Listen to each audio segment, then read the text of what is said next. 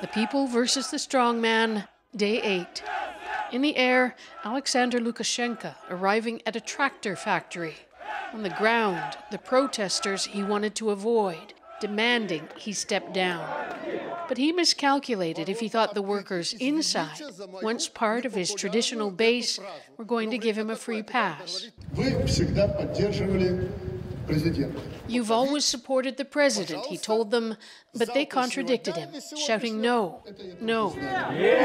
When he finished speaking, he said they could carry on shouting, and they did.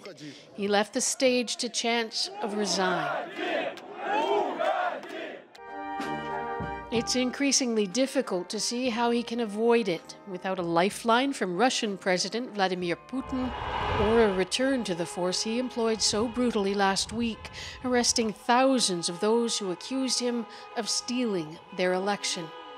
Many say they were beaten and tortured.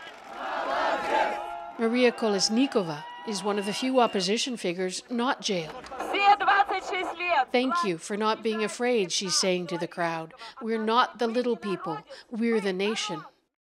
Today, another opposition leader, Svetlana Tikhanouskaya, who fled to Lithuania, called on Belarusian security forces to stand down. If you decide not to carry out your illegal orders and switch to the side of the people, she said, they will forgive you.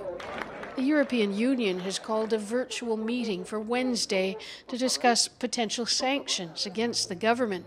On the street, the protesters seem to be adding to their numbers with each passing day. But Lukashenko, dubbed Europe's last dictator, has clung to power for 26 years. And he hasn't given up yet. Margaret Evans, CBC News, London.